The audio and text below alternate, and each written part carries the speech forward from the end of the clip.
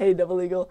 This school year, we've been using computers a lot to communicate with each other, so I thought it'd be fun to take a look inside computers and learn a little bit more about how they process and send information. Today, we're going to learn about the parts of a computer by making our own out of paper. Yes, it will just be a pretend computer, but it will still be cool and it will still have all the same parts that a real computer does.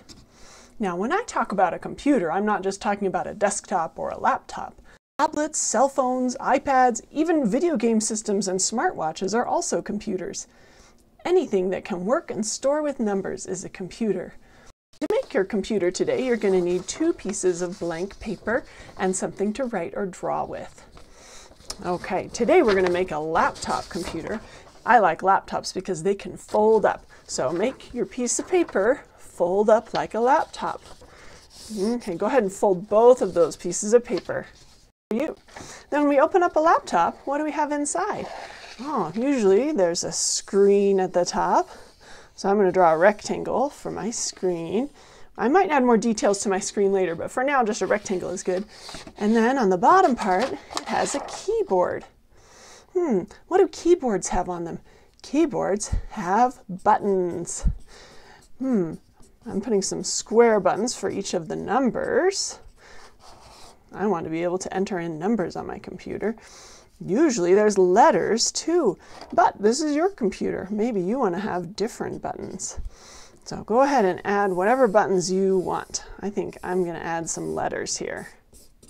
You could look at a picture of a real computer if you want to make your buttons the same as that, or think of your own idea.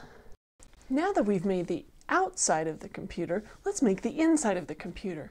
We usually think of desktop computers in terms of the screen. That's what we look at most of the time. But all the work is done inside the computer. On a laptop that's under the keyboard, they store all the same parts that you'll find in a computer case of a desktop under the keyboard of a laptop computer. So I'm going to open this one up and show you what's inside. And we'll put those same parts on our laptops that we're making.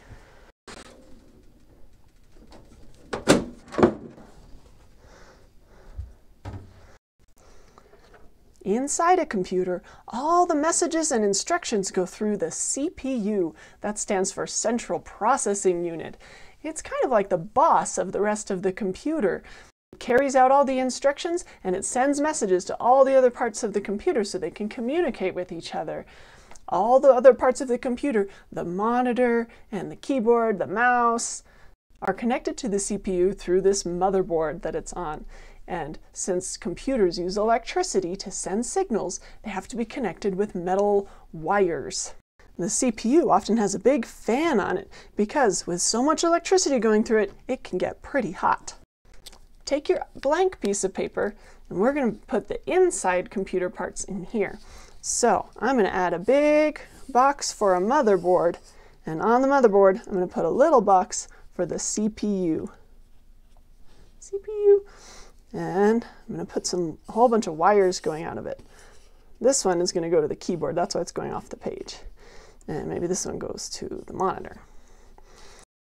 Also on the motherboard are some chips where the computer can store the data it's working on right now. This is called RAM, or Random Access Memory. These little squares hold all the information it's working on. For example, you're watching this video right now on a computer, and your computer is downloading the video from the internet and putting it inside the RAM so that it can show it to you on a screen. Also in RAM is the program that's showing you this video, whether it's YouTube or Chrome or Safari. So in RAM is everything the computer needs to be thinking about right now. Sometimes we want to store something for a long time if something is just in RAM, it will disappear when the computer turns off. So if we want to store something for a long time, we need a storage drive. You can see the storage drive in this computer, and it has wires connecting it to the motherboard. That's what I'm going to draw over here. Anytime you take a picture or a video or download something from the internet and store it on your computer, it's going on one of these storage drives. But whenever the computer needs to work with something, it will move it from the storage drive into RAM because that is much faster. The inside of the computer can go under your other sheet. And see how it's hidden inside, just like on a real laptop. All these parts are hidden inside, but we can lift it up and see what's inside our computer. And on the outside, let's put our name on it. I'm going to write Ms.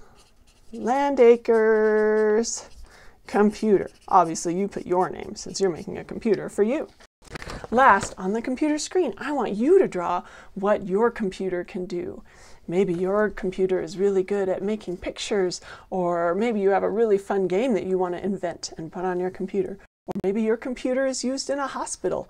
You decide and draw something here on your screen that shows how your computer will be used.